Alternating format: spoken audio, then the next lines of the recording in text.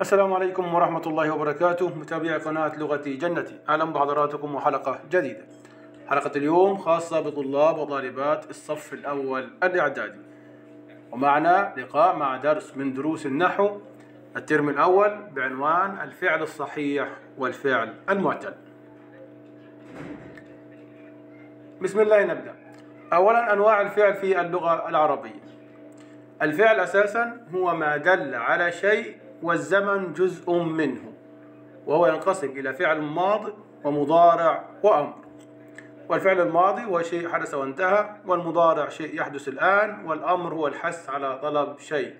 والفعل المضارع كما تعلمون يبدأ بحرف من حروف أنيت. أما من ناحية أنواع الفعل فهو ينقسم إلى قسمين فعل صحيح وفعل معتل. أولا ما المقصود بالفعل الصحيح؟ الفعل الصحيح هو ما خلت أصوله من أحرف العلة أي ما خلت حروفه الأصلية من حروف العلة. وحروف العلة في اللغة العربية هي الواو والألف والياء.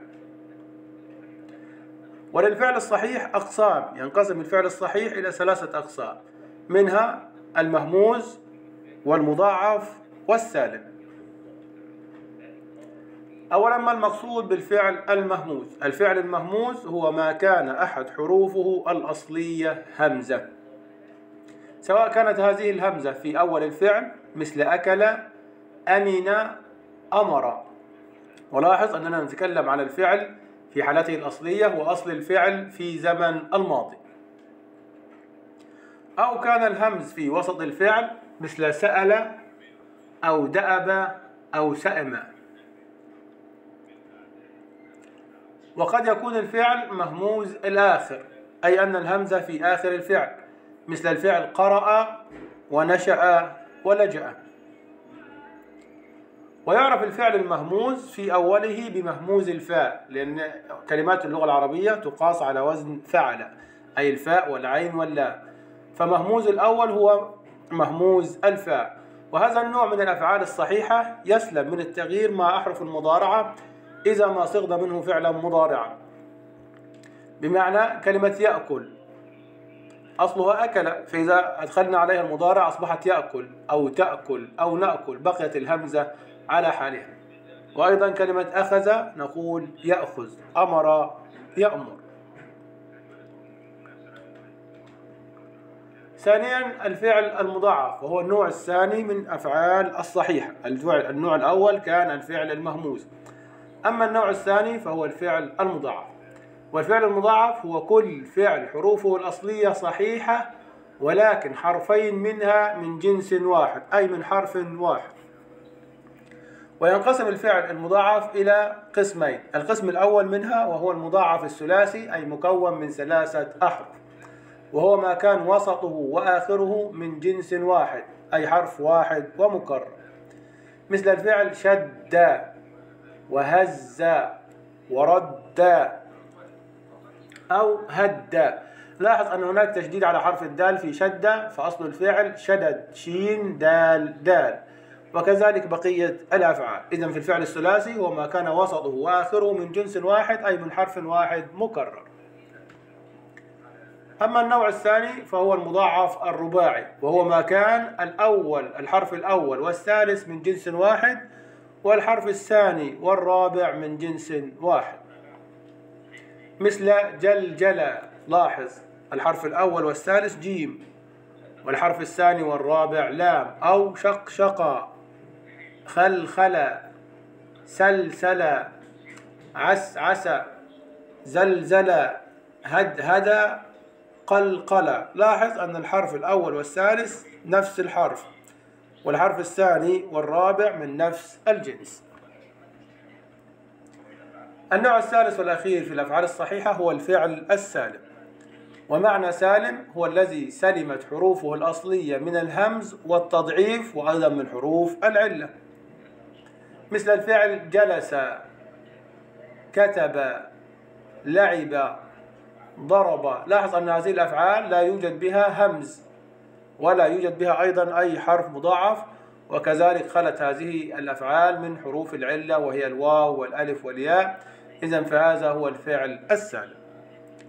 إذن الأفعال الصحيحة تنقسم إلى مهموز ومضاعف وسالم. أما الفعل المعتل هو ما كان أحد حروفه الأصلية حرف من حروف العلة وحروف العلة كما تعلمون هي الألف والواو والياء. ومن ناحية الأنواع أو الأقسام ينقسم الفعل المعتل إلى خمسة أقسام وهي كالتالي رقم واحد الفعل المثال ومعنى كلمة مثال هو ما كان أول حروفه الأصلية حرف علة أي أن الفعل يبدأ بحرف علة سواء كان هذا الحرف هو الواو أو الياء أما الألف فلا يبدأ بها الفعل. مثل وعد وزن وقف هذه الأفعال بدأت بحرف الواو وهو حرف علة. أو يسر يئس يبس. أيضا هذه الأفعال بدأت بحرف علة وهو الياء. لاحظ معي أن الفعل المعتل الأول بالواو يغلب على الفعل المعتل الأول بالياء بمعنى أنه أكثر منه الأفعال المعتلة بالواو تجدها كثيرة جدا أما الأفعال المعتلة بالياء فهي قليلة. وقد عدها النحويين والصرفيين في 24 فعلا وهي قليلة الاستعمال في اللغة. ومنها مثلا يفع يقن يمن يسر يقظ يرقى وهذه الأفعال قليلة في الاستخدام. إذا فالأكثر في الفعل المعتل الأول هو الذي يكون معتل بحرف الواو. النوع الثاني من الأفعال المعتلة هو الفعل الأجوف. ومعنى أجوف هو ما كان ثاني حروفه الأصلية حرف علة أي أنه معتل الوسط مثل الفعل قال أو صام ونام. لاحظ أن الحرف الثاني حرف ألف وحرف الألف من حروف العلة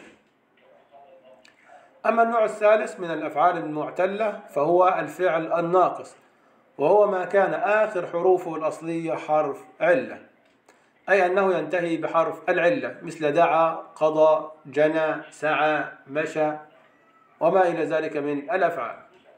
النوع الرابع من الأفعال يسمى اللفيف.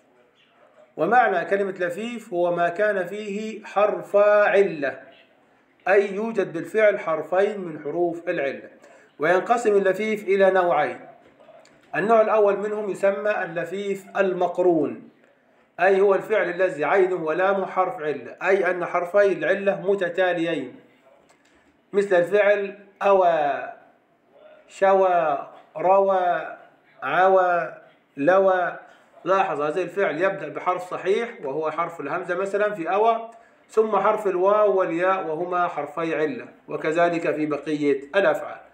أما النوع الثاني من اللفيف يسمى اللفيف المفروق وهو الذي فاؤه ولامه حرف علة. ويفرق بينهما حرف صحيح. يعني يبدأ بحرف علة وينتهي بحرف علة وبينهما حرف صحيح مثل الفعل وقى الواو والياء حروف علة والقاف حرف صحيح. وكذلك الفعل وعى وشى وهى أما الآن عزيزي التلميذ فلدينا تنبيهات وفوائد خاصة بالدرس. لمعرفة الفعل الصحيح من الفعل المعتل ينبغي عليك أولا أن ترد الفعل إلى الماضي. أي إذا جاء السؤال في الامتحان استخرج أو حدد نوع هذا الفعل. إذا كان الفعل في صيغة الأمر أو في صيغة المضارع لابد أن يرد إلى الماضي. مثال الفعل يتعلم. قد يتعجل بعض الطلاب ويعتقد أن الياء حرف علة ولكنها ياء المضارعة.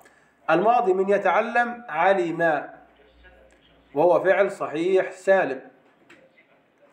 أما الفعل يستعين مثلا فالماضي منه عانى وهو فعل معتل الوسط أي أنه أجوف. أيضا ينبغي حذف حروف الزيادة في الفعل. إذا كان الفعل المراد معرفة نوعه صحيح أو معتل به حروف زيادة لابد أن تحذف هذه الحروف الزيادة. كيف أحذفها؟ أن أزن الفعل على كلمة فعل. فمثال مثلا الفعل يتكسر على وزن يتفعل. ارجع به إلى أصله فتجد أنه أصله كسر على وزن فعل. ويستخرج على وزن يستفعل. إذا رجعناه إلى وزن فعل فهي كلمة خرج. والفعل في اللغة العربية كما تعلمون إما ثلاثي أو رباعي. وهي الحروف الأصلية. أما الزيادة عن ذلك فهي حروف زيادة فممكن يكون الفعل ثلاثي مزيد بحرف أو حرفين أو ثلاثة وأكثر الأفعال المزيدة بثلاثة حروف تجدها بتبدأ بالألف مثلا والسين والتاء أو الياء والسين والتاء. لاحظ عزيزي الطالب إذا اجتمعت همزة وحرف علة فنوع الفعل معتل. الهمزة من الحروف الأصلية لكن إذا اجتمع معها في نفس الفعل حرف الواو أو حرف الياء فالفعل معتل وليس فعل مهموس. مثال الفعل رأى وجاء. انظر إلى رأى. الفعل انتهى بالياء. وجاء. الفعل أيضا فيه حرف الألف. فنوع رأى معتل الآخر إذا فهو ناقص. أما جاء فهي معتلة الوسط فنوعه فعل أجوف. تدريب على الدرس. إن الشباب عدة الوطن فهو يجد متعته في العمل. ويحث على التفوق حتى ينال هدفه ويضع الحاضر عليه مسؤولية النهوض. بالمستقبل فمتى يرتقي الشباب يرتفع قدر الوطن؟ السؤال الأول أعرب ما تحته خط. لدينا كلمة عدة ومتعته والحاضر والوطن. إذا نظرت إلى بداية القطعة تجد إن إذا فهي حرف ناسخ ناصب والشباب اسمها. وعدة خبر إن مرفوع وعلامة رفعه الضمة والوطن مضاف إليه. سأضع لك بقية الكلمات في الإعراب. السؤال الثاني استخرج من الفقرة. مطلوب فعل صحيح سالم وفعل صحيح مضاعف. فعلا معتلا أجوفا وفعلا معتلا ناقصا سأترك أيضا لك هذه الأفعال لتكتبها في التعليقات. وبهذا نكون وصلنا إلى نهاية الحلقة. إذا كان لديكم أي استفسارات فاتركوها في التعليقات. وإذا أعجبكم الفيديو فلا تنسوا الضغط على زر الإعجاب والاشتراك في القناة ومشاركة الفيديو حتى تعم الفائدة.